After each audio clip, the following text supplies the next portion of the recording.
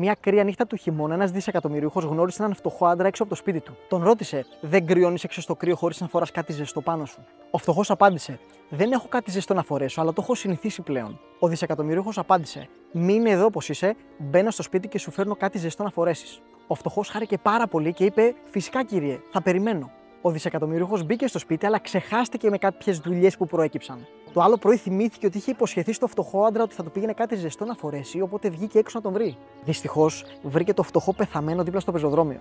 Κοίταξε γύρω του και βρήκε ένα γράμμα το οποίο είχε γράψει ο φτωχός. Το γράμμα έγραφε: Όσο δεν είχα ζεστά ρούχα να φορέσω, είχα τη δύναμη να πολεμήσω το κρύο μιας και το είχα συνηθίσει. Όταν όμως μου υποσχέθηκες ότι θα με βοηθήσεις, δέθηκα με την υπόσχεσή σου και αυτό μου αφαίρεσε τη δύναμη της αντίστασής μου. Συμπέρασμα. Μην υπόσχεσαι κάτι όταν δεν μπορείς να τηρήσεις την υπόσχεσή σου. Μπορεί να μην σημαίνει τίποτα για σένα, αλλά μπορεί να σημαίνει τα πάντα για τον άλλον.